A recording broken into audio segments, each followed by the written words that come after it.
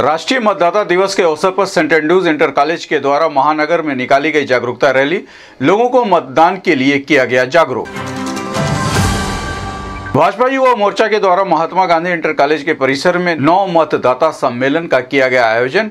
PM ने video conferencing के माध्यम से जुड़कर किया संवाद, कहा, अवश्य करें मतदान।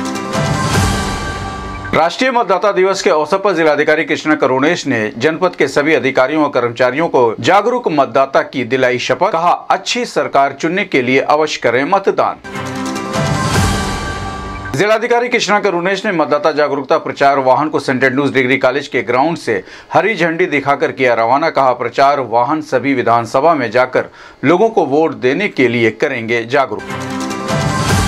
सदर सांसद रवि किशन ने कांग्रेस नेता राहुल गांधी को असम में मंदिर जाने से रोके जाने पर कहा, राहुल गांधी को आना चाहिए था भगवान राम के प्रतिष्ठा में।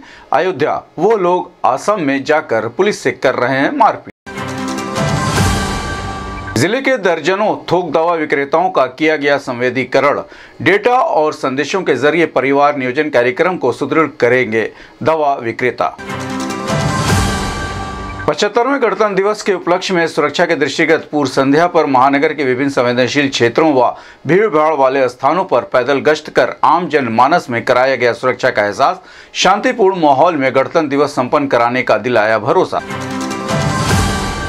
गैंग बनाकर गौ तस्करी का अपराध कारित करने वाले गिरोह के छह अपराधियों के विरुद्ध बढ़लगंज थाने की पुलिस द्वारा गंगेस्टर एक्ट के तहत की गई कार्रवाई, एसपी साउथ जितेंद्र कुमार ने दी जानकारी।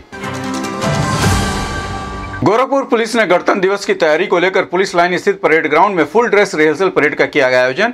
एसएसपी डॉक्टर गौरव ग्रोवर ने ग्राउंड में चल रही साफ़ सफ़ाई और साज सज्जा की तैयारियों का लिया जायजा। दिए आवश्यक दिशा निर्देश।